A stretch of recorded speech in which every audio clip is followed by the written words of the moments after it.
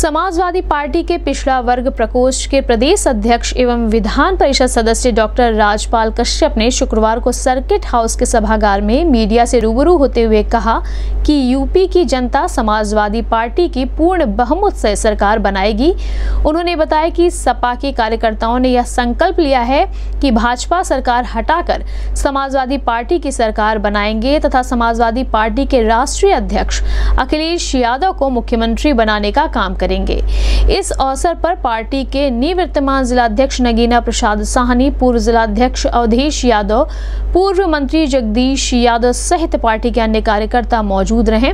इस संबंध में गोरखपुर न्यूज़ से बात करते हुए समाजवादी पार्टी के पिछड़ा वर्ग प्रकोष्ठ के प्रदेश अध्यक्ष एवं विधान परिषद सदस्य डॉक्टर राजपाल कश्यप ने कहा।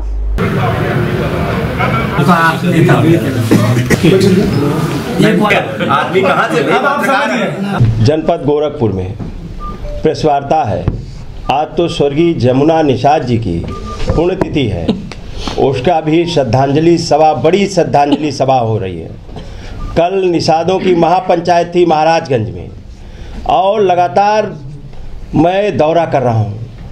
साथ ही साथ में आपने देखा होगा पिछले दिनों समाजवादी विजय रथ गोरखपुर में आया था। जिस जो ऐतिहासिक भीड़, जाति, धर्म, बंधनों को तोड़ के माननीय अखिलेश यादव जी को सुनने और देखने आई थी, उससे मैं पूरे दावे के साथ में और पूरे विश्वास के साथ में कह सकता हूँ कि गोरखपुर की सारी सीटें समाजवादी पार्टी जीतने जा रही है, क्योंकि वर्तमान में मुख्यमंत्री इसी ज़िले के मुख्यमंत्री हैं। और प्रदेश का विकास तो छोड़ जाओ, ज़िले का भी विकास नहीं कर पा रहे हैं। तो ये बताइए, ये सभी नारा देते थे, सबका साथ, सबका विकास। विकास केवल योगी आदित्यनाथ जी अपना कर रहे हैं और नाम बदलने का काम कर रहे हैं। और स्वयं भी तीन बार नाम बदल चुके अपना। बताओ। पहले अजय सिंह बिष्ट थे फिर आदित्यनाथ योगी हुए, फिर योगी आदित्यनाथ हुए। बताओ। तीन बार तो स्वयं तो इनके पास कोई काम नहीं है, केवल नाम बदलना। और उद्घाटन का उद्घाटन और कोई नहीं।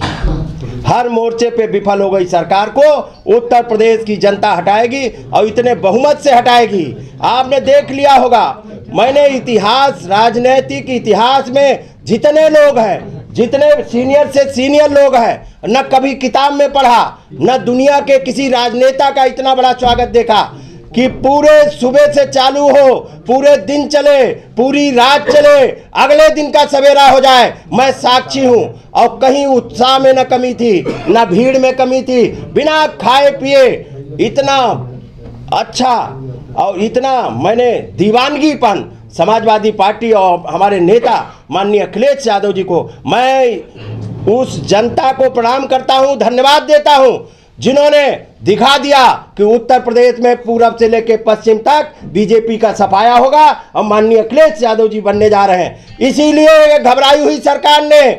एक कानून वापस लिया है और ये कानून वापस लिया है माननीय अखिलेश यादव जी के, जो उत्तर प्रदेश में बढ़ते हुए जनाधार, जो किसान जुड़ रहे हैं, नौजवान जुड़ रहे हैं और जो जिस तरीके से मैं किसानों को धन्यवाद देता हूँ कि किसानों ने मजबूती से लड़ाई लड़ने का काम किया। समाजवादी पार्टी के नेता कार्यकर्ताओं को धन्यवाद देता हूँ कि उन्होंने बिना इसकी परवाह किए हुए कितने लोगों को जेल भेजा, कितने लोगों पे मुकदमा लगाया। माननीय राष्ट्रीय अध्यक्ष जी को दो दो बार गिरफ़्तार करने का काम किया किसानों के मामले में। ये समाजवादी पार्टी और कार्यकर्ता उत्तर प्रदेश की जनता की जीत है, लेकिन ये षड्यंत्रकारी है।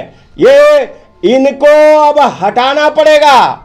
और अभी तो इनसे महँगाई और सारी लोगों को रोज़गार लेना है।